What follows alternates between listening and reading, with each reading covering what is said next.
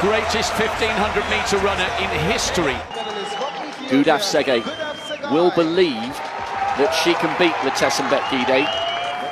A brilliant lineup. 10,000 metre runners stepping down to the 5,000 and 1,500 metre runners stepping up. Speed against strength meets over 12 and a half laps. This is only Faith Kipyegon's seven run, seventh run over 5,000 metres. She's the greatest there's ever been, male or female, over the 1500. But despite the fact that she has the world record, she hasn't been in tactical races over 5,000 metres like this. She's new to the event. She knows how to follow a Wavelight. She knows how to set a record. But this won't just be about how fast you run. This will be how fast you can accelerate. In the 10,000 metres, remember the 5,000 metre Olympic champion has had a hard year and she started her season late, but Hassan responds. Tsegay leads from Gidey. Beatrice Chebet and Kipkemboi are right up there. Kite has drifted off the pace, the third of the Kenyans. It's anyone's race now as they come round with 500 metres to go.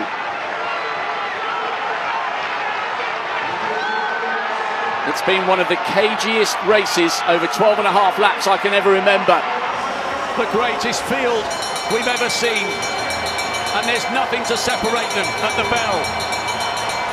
Inside the last 400 metres of an utterly absorbing race, the world record holder has the Olympic champion on her shoulder and the defending champion just behind.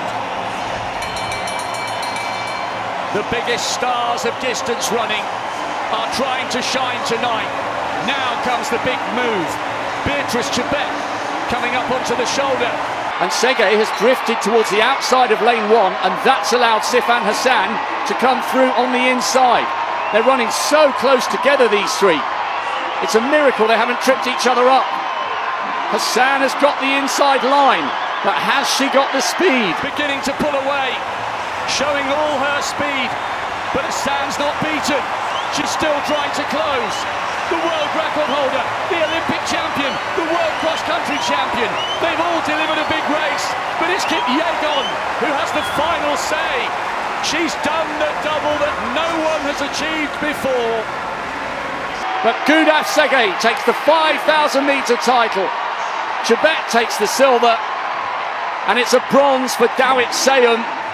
It was just too slow for the likes of Letesenbet Gidey to live with the explosive pace at the end. It was so tense and so tactical, and despite her mistake of letting Sifan Hassan come through on the inside with 200 to go, Gudaf Tsegay was not to be denied the title.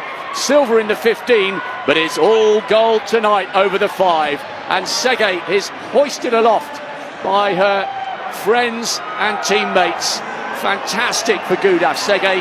She tastes the top spot on the podium on a memorable, memorable evening.